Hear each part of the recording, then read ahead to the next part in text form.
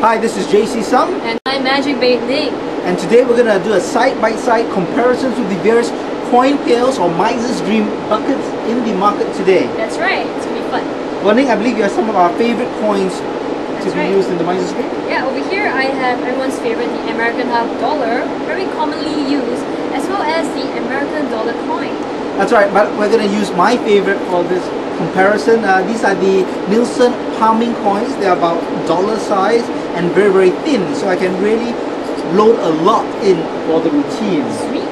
Well, as you can see, we have various buckets to get into, so here we go. Alright, first up, we're going to have a look at real champagne buckets. These are buckets or pails you can find from uh, houseware departmental stores or restaurant supplies, or you can steal them from a bar. Okay, so we actually stolen one over here. This real champagne bucket comes from the Arena, which is a club that we perform at every night. So this real champagne bucket now, it's made of lightweight stainless steel. So because it's made of lightweight stainless steel, well, we can get bumps quite easily. Although it is very light. Mhm. But you see, different pails are made differently, they're molded differently. I'll give you an idea of the sound uh, for this particular pail. We'll drop it about this height. It's alright, it's a bit hollow, it's pretty loud, but not ideal in our case, isn't that right? We'll put that aside for now. We've got another bucket right over here. Now this is uh, heavyweight stainless steel, Or it feels heavier. much much heavier. Of course, issues are if it's heavier, if you are doing the miser's dream, it can get tiring Mm. in a bit. That's right, especially if you're like having your coins loaded here, so it's added weight. Do you agree on that? Well, let's see how it sounds like though with a real heavy uh, stainless steel bucket. Very nice ring, of course. Right. bucket is very solid, but it is pretty heavy. Pretty heavy indeed. Okay, I got one of these. Ning, check this out. This is like a small cute one. You like this, Lindsay? Yeah. But if you notice, it is pretty heavy. It is stainless steel. Again, a different kind of stainless steel, but it still can dent. How much does it say, Ning? Let's see what's the price tag. Oh, 25 $52 from Xiaohuat Private Limited. That's right, this one was from a restaurant supply shop. Uh, Chinatown in Singapore. We'll have a look at the sound or have a listen to the sound.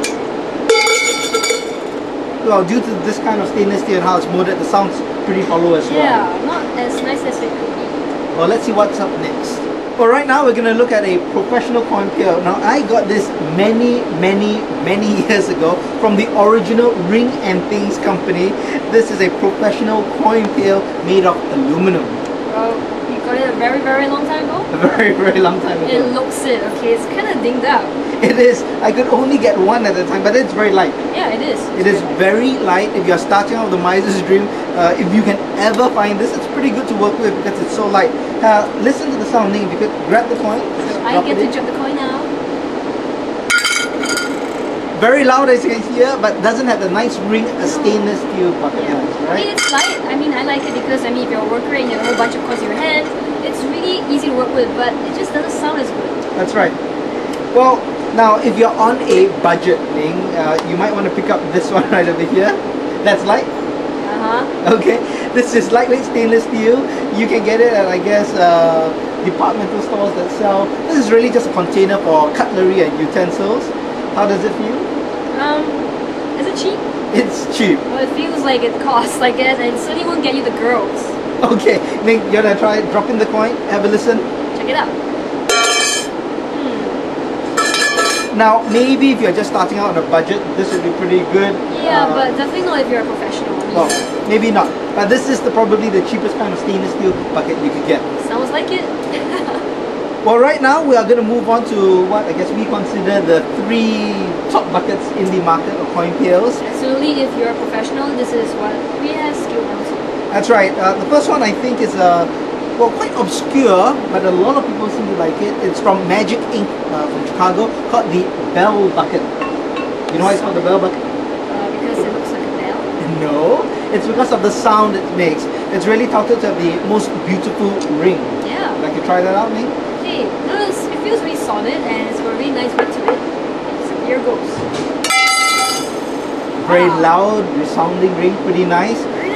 Now it doesn't look like a you know a champagne bucket. Looks more like a container, but it's good size, handy size. But I can tell you, it is the heaviest bucket among all of these.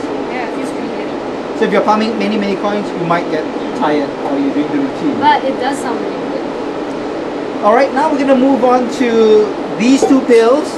they they look alike, right? Yes, very much so. I'll just rotate them for you just to check it out. Okay, uh, they are not identical. This is Gary Darwin's coin pail. It is pretty lightweight as you can see. Yeah, I can like balance on my fingertips. Mhm. It feels light, uh, but because it's very light as well, uh, well, it came to be dented. No way, you mean in shipment? In shipping, it came dented. Yikes. So you can't drop this, it's pretty fragile. Now, this is touted to have the loudest ring on the market. Okay, let's check it out.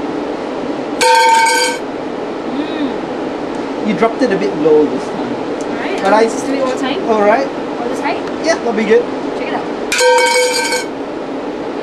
Alright, so pretty loud. Uh, many people like it. Now, the price of this is pretty high. Much is it? It's about $137 to buy it retail. Uh, that's US dollars. So we're going to put that away. Very popular bucket still. Now we come to what we call the perfect coin pail. And this is from us, right? Uh, well, it's yours, but I do sell it, so Oh, that's true. Okay, now this is actually uh, heavy duty stainless steel, but the way it's turned, it's actually very lightweight. We also modified it That's right. such that it's even more lightweight. You can feel that? So you see, I can just like balance it out with just three fingers. Well, compared to the Darwin's coin pail, which is heavier. Well, that's heavier. This is lighter. So if you're a worker and working with like many coins, you will love to, you know, actually use this because yeah, it can pump so much more. Yeah, it's got the lip as well right here, uh, which is straight. Now the Darwin coin pail it's slanted, so you can't get as much of a grip. Now I told you that the Magic Inc's Bell bucket has the most beautiful ring, right? Yep. And Gary Darwin's bucket is touted to have the loudest ring. Mm-hmm. I can tell you that the Perfect Coin Pail has the loudest and the most beautiful ring. You know, they always like to say show, not tell. So let's show it to you. Mm. Very nice ring, very solid. Now you can drop this, it will not dent, Not a problem. yet it is very nice. Yeah. It's perfect. And well, best of all, of course, is the price. It's about half the price of the Darwin bucket, so I think it's worth having a look at. Right. So check it out.